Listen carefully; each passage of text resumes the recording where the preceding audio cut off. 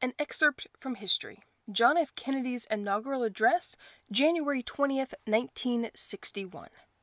Let the word go forth from this time and place to friend and foe alike that the torch has been passed to a new generation of Americans, born in this century, tempered by war, disciplined by a hard and bitter peace, proud of our ancient heritage, and unwilling to witness or permit the slow undoing of those human rights to which this nation has always been committed and to which we are committed today at home and around the world.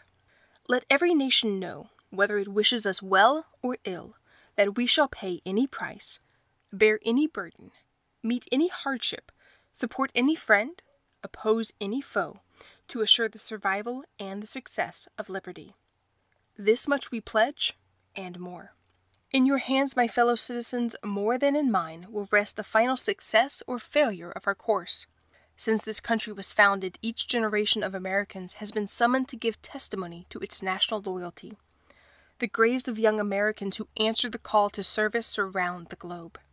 Now the trumpet summons us again, not as a call to bear arms, though arms we need, not as a call to battle, though embattled we are, but a call to bear the burden of a long twilight struggle, year in and year out, rejoicing in hope, patient in tribulation, a struggle against the common enemies of man, tyranny, poverty, disease, and war itself.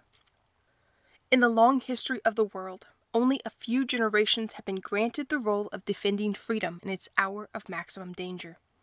I do not shrink from this responsibility, I welcome it. I do not believe that any of us would exchange places with any other person or any other generation. The energy, the faith, the devotion which we bring to this endeavor will light our country and all who serve it, and the glow from that fire can truly light the world. And so, my fellow Americans, Ask not what your country can do for you, ask what you can do for your country. My fellow citizens of the world, ask not what America will do for you, but what together we can do for the freedom of man. Finally, whether you are citizens of America or citizens of the world, ask of us here the same high standards of strength and sacrifice which we need of you.